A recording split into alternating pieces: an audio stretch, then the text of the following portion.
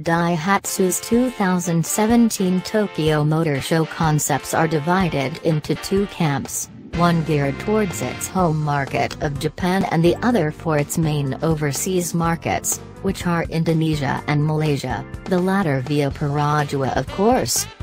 The Daihatsu DN Multi-6 is in the latter camp, and was first seen at the 2017 Gaikindo Indonesia International Auto Show in August. The multi-purpose vehicle is of course the dominating body style in populous Indonesia.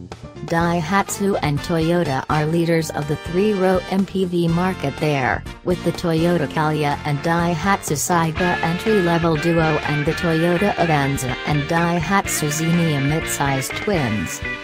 In terms of dimensions, the 1.5 liters show car is 4,310 mm long, 1,720 mm wide and 1,695 mm tall, with a wheelbase of 2,620 mm and a high 250 mm ground clearance.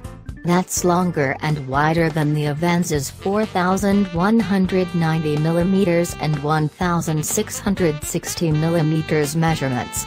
The Multi-6 name references the concept's number of seats, which is 6 and not 7. As a nation and the income of its people makes progress, so does the population's expectations when it comes to transport. The Toyota Innova's flagship six-seater variant mirrors this, which means that Toyota and Daihatsu are on the ball. The Multi-6 also has some SUV flavor in its design, which is of course the trend now. Speaking of design, the Multi-6 at Tokyo Big Sight has an unchanged exterior from the one in Indonesia, except for trim colors, red accents here instead of gold. However, the dashboard has been worked on, and now looks a few steps closer to production. It's futuristic yet realistic, and sports a diving center console with a hollow back. Like what you see? For more updates subscribe Moto Guru.